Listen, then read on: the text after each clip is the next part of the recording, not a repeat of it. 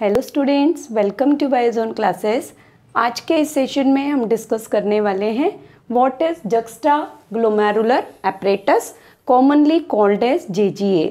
about JGA in NCERT class eleventh we study in excretory excretory system and you refer the page number 294 and 297 of class 11th NCRT for JGA.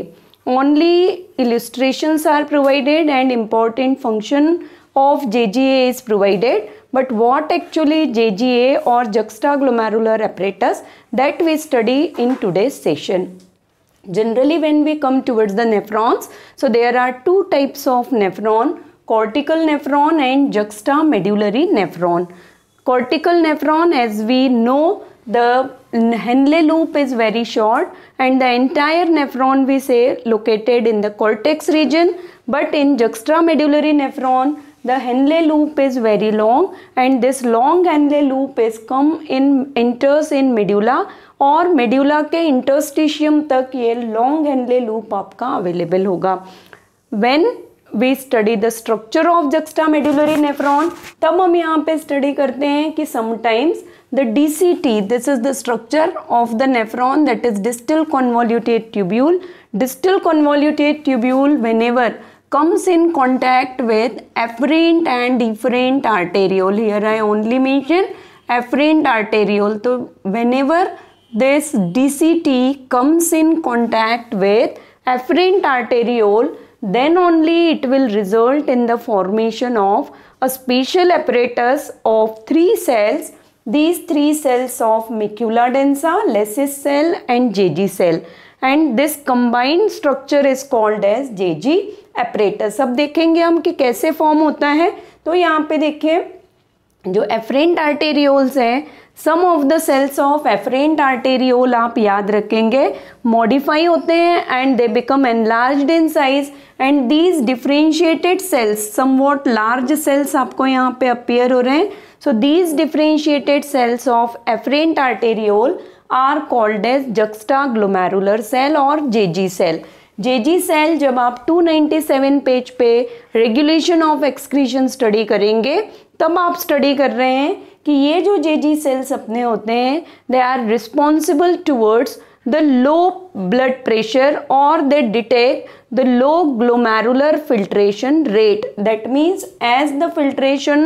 glomerular filtration rate decreases the glomerular filtration pressure decreases या आप simple terms में कह सकते हैं कि when the flow of blood is decreases in afferent arteriole the J G cells become active and the responsible for the secretion of renin ये आपका वहाँ पे दिया हुआ है 297 पेज में. So J G cell you remember some of the differentiated cells of afferent arteriole the part of D C T which comes in contact with efferent arteriole ये जो पार्ट आपका है ये ये पार्ट होगा यहाँ पे the part of D C T which comes in contact with efferent arteriole in that part also some of the cells get differentiate and these differentiated cells of DCT called as macula densa and now in between the macula densa of DCT